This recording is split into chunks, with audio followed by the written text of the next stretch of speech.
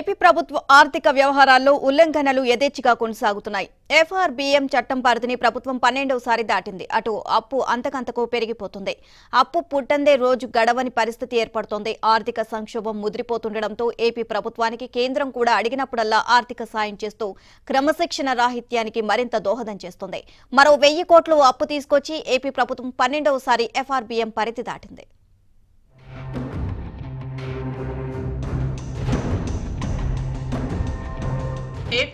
అప్పులు పెరిగిపోతున్నాయి. అప్పు కోసం శుక్రవారం ఇండియన్ పెట్టడం మంగళవారం బాండ్ల వేలానికి పరుగులు తీయటం ఏపీ ప్రభుత్వానికి అలవాటుగా అయిపోయింది. రాష్ట్రంలో ఎఫ్ఆర్బిఎం కింద బాండ్ల వేలం యథేచ్ఛగా జరిగిపోతోంది. ఏపీలో ఆర్థిక క్రమశిక్షణ కొరవడిందని ఇప్పటికే క్రిసిల్ లాంటి సంస్థలు పేర్కొన్నాయి. సిఆర్డీఏ నిర్వహించిన అమరావతి బాండ్లకు క్రిసిల్ సంస్థ రేటింగ్ను తగ్గించడంతో పాటు చివరకు తగినంత బ్యాలెన్స్ను అకౌంట్లో ఉంచలేకపోయారని పేర్కొంది. ఆర్థిక వ్యవహారాలు అదుపు తప్పుతున్నాయని కూడా స్పష్టం చేసింది. క్రిసిల్ రేటింగ్ తగ్గించిన ప్రభావం రాష్ట్ర ఆర్థిక వ్యవస్థ సమస్యపై స్పష్టంగా ఉంటుందని చెప్తున్నారు. ఈ నేపథ్యంలోనే రెండు వేల ఇరవై మూడు ఇరవై నాలుగు ఆర్థిక సంవత్సరానికి రాష్ట్ర ప్రభుత్వానికి ముప్పై వేల ఐదు వందల కోట్ల రూపాయలు ఎఫ్ఆర్బిఎం కింద రుణ పరిమితి విధించగా ఇప్పటికే అదనంగా ఇరవై వేల కోట్ల రూపాయలు తీసుకొచ్చారు. శుక్రవారం మరో వెయ్యి కోట్ల రూపాయలకు ఇండెంట్ పెట్టారు. ఇవి కాకుండా కార్పొరేషన్ల పేరిట మరో ముప్పై వేల కోట్ల రూపాయలు నేటి వరకు అప్పుగా తీసుకొచ్చారు. ఈ ఏడాది అప్పు ఇప్పటి వరకు అంటే మొదటి ఎనిమిది నెలల్లో దాదాపుగా తొంభై ఐదు వేల కోట్ల రూపాయలకు చేరుకుంది.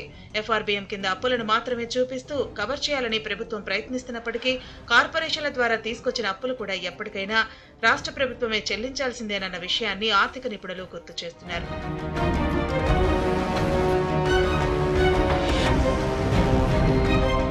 ఇన్ని అప్పులు చేస్తున్నప్పటికీ బిల్లులు రాకపోవడంతో కాంట్రాక్టర్లు తీవ్ర ఆగ్రహావేశాలు వ్యక్తం చేస్తున్నారు. ఆర్థిక వ్యవస్థలో కూడా ఏపీ స్థానం ఎనిమిది నుంచి పదకొండవ స్థానానికి పడిపోయిన విషయాన్ని పలువురు గుర్తు చేస్తున్నారు. చేబదుళ్ళు ఓవర్ డ్రాఫ్టులతో ఆర్థిక నిర్వహణ చేసే పరిస్థితికి రాష్ట్రం దిగజారిందని చెబుతున్నారు.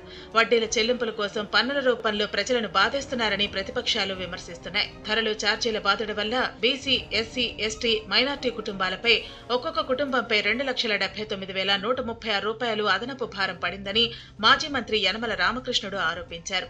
రాష్ట్రంలో ఇన్ని అప్పులు చేస్తున్న ఒకటో తేదీన ఉద్యోగులకు వేతనాలు పెన్షన్లు చెల్లించలేకపోతున్నారు.